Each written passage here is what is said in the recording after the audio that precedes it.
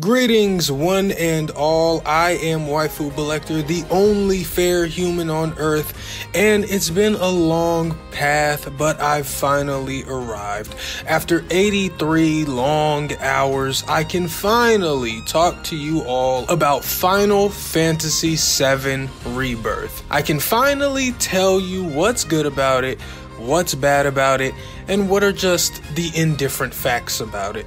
So, if you end up enjoying, consider liking and or subscribing. But for now, I'll just get right into this. And where do I even start with this game?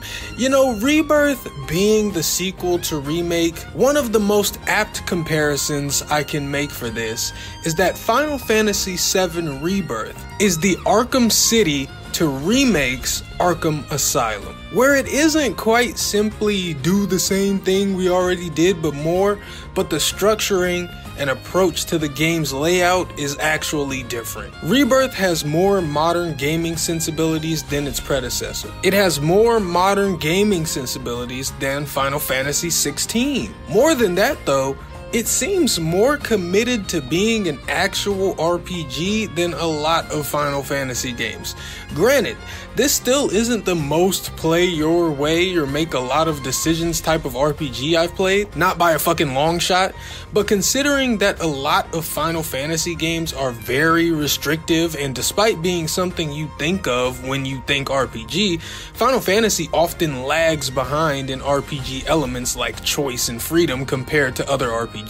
When you consider that, what RPG elements are present in 7 Rebirth, what overall moderate freedom of gameplay and choice there is, it's shockingly good. As a Final Fantasy game, Rebirth is shockingly committed to the core genre elements that make RPGs what they are. It isn't turn based combat or numbers popping off of enemies, it's freedom of choice, be that in narrative, gameplay, or both. And Rebirth is strangely going deeper into those freedom of choice waters than most Final Fantasy games I've experienced care to. And that's refreshing. It's especially refreshing because I'd say that 7 Remake already had one of the best combat systems I'd ever seen in a game. The tactical mode slowdown mid combat basically embodies the term action RPG. But not only does Rebirth refresh the experience around the combat system by adding some more choice and wider expanses, but they just refresh the combat directly as well. And that's saying a lot. The first game was massively carried by its combat system.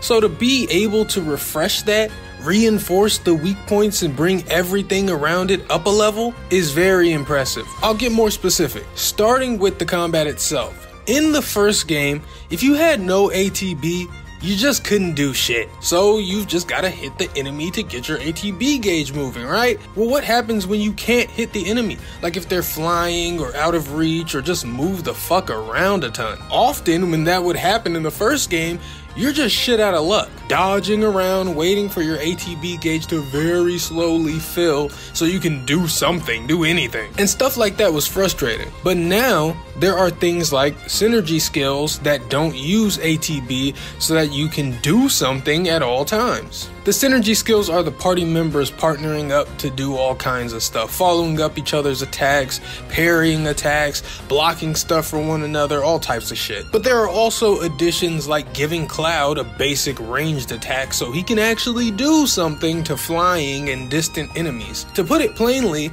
combat improvements mostly boil down to having options in just about every situation. Now, also, Due to the aggressive linearity of 7 Remake, well, for one thing, there was no grinding. And I don't mean you didn't have to grind, I mean there wasn't the option. There was pretty much nowhere to grind. But also, and more importantly, the game always told you who was in your party at all times. You had no say in the matter. There were only four playable party members total, but whether it was Cloud and Aerith, or Cloud Tifa and Aerith, or just Barret, didn't matter. Your party was fixed and you just had to make it work. Extremely on rails for something calling itself an RPG. Now, that fixed party thing still exists quite a bit in Rebirth. However, it is along the main path. So, all through the side content, all through the large open expanses, you get to use your party of choice, which is a party of three that you can choose from the total of seven playable characters. And there are tens of hours of side content and combat encounters, so it's fine that the main path shakes things up by making you play a specific party because you will have gotten to play a ton as who you want beforehand. Something that just didn't exist in the previous game. This amount of playable characters didn't exist, the open zone approach didn't exist exist, and so it's nice that Rebirth doesn't have to suffer in the same way. Now, as I said, Rebirth takes an open zone approach to its world, like God of War Ragnarok or Jedi Survivor. And I think their zones are great. They're appropriately sized, they're appropriately filled. The zones are designed in a way that feels feasible to finish, but also fun during the task itself. In no small part, thanks to its still amazing and now improved combat system. I almost just want them to keep adding characters to this shit like Granblue Relink. It's that good. So, yes, the combat still leads the charge in making the game very fun for a very long time, but there is another significant force at play here mini games. Listen to me. Final Fantasy VII Rebirth has more mini games than you can shake a fucking stick at. Every other thing you do is made into a mini game. If we ever saw the characters go to the bathroom, it would probably be a mini game. It's insane and it's amazing because most of the mini games are good and a few are really fucking good, like just be your own game level good. The main of all the main mini games is Queen's Blood, a card game that you play around the world of Rebirth. The rules are hard to explain without a step by step visual aid, but it's so fucking fun. I played every match I could and finished the whole card playing quest line, and I just want Queen's Blood to be its own game on mobile devices. Just touch it up, rebalance it for competitive play, and put it on my iPad. Oh my god. And if they had cards from the whole Final Fantasy franchise and not just seven, psh, man, please. okay, anyway, yes that's the main mini game, but there's also other big ones like Chocobo Racing, which again, just be your own game. Oh my god, I have so many ideas for how to turn Chocobo Racing into its own game. I might need to make that into its own separate video, but I'm gonna focus for now. So yeah, a shit ton of mini games. There's like dolphin riding time trials. There's a FF7 version of Punch Out basically. Fort Condor comes back. There's like a not Fort Condor game too that uses the FF13 Gambit system. The piano playing mini game, which I'm not great at. They turn the motorcycle sections from remake into a mini game. You get it. Everything's a fucking mini game. And honestly, it's fucking amazing. It's amazing that your main game is so enjoyable and nearly everything between is too. Although I hate the Aerith Cactuar Crush game. Oh my god. It's fine with Yuffie. I hate it with Aerith. But whatever. So yeah, I've talked about the game and the games within the game, but a big part of Final Fantasy VII is its story, obviously. So, how is the story? How is the writing? I'll start with this. The character work in this game is outstanding. Mostly everybody in your party is very likable and you just love hearing them banter with each other. A lot of light-hearted and genuinely funny moments happen between Cloud and others. And I say mostly everybody in your party is likable because and don't kill me for this. It's not that Tifa's unlikable, but she's very bland and boring. Her personality is very flat and uninteresting, even compared to Red 13, who is presented as mostly very serious for the entire first three quarters of the game. But who needs personality when you can just be hot, I guess? and don't get me wrong, her presence doesn't hurt the game or its storytelling or anything. I just think her character is not as strong as the others. I mean, she was the weak link in the first game too, character writing wise, but now it's even worse because there are more party members just brimming with personality and charisma. But I guess Tifa's charisma are her thighs, so checkmate.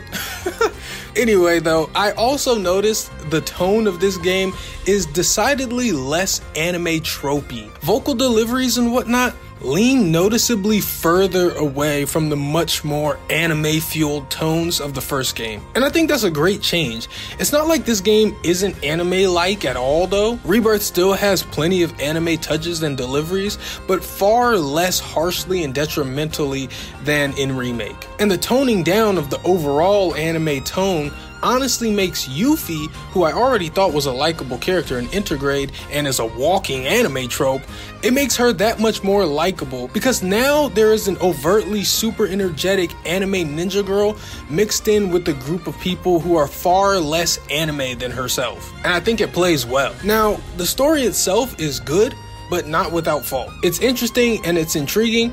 It definitely stumbles though. For one, I think things start to get sloppy near the end.